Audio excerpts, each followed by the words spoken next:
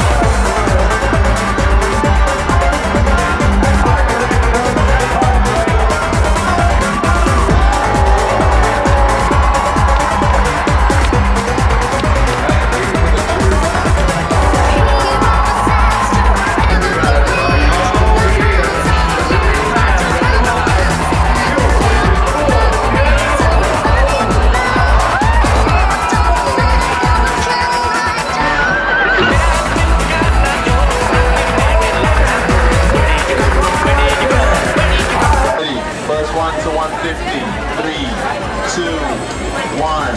Watch this. Who's gonna be the winner? Keep it going. Don't turn the lights off, okay? That's right. Chicken dinner, number three. Oh, you won! There you go.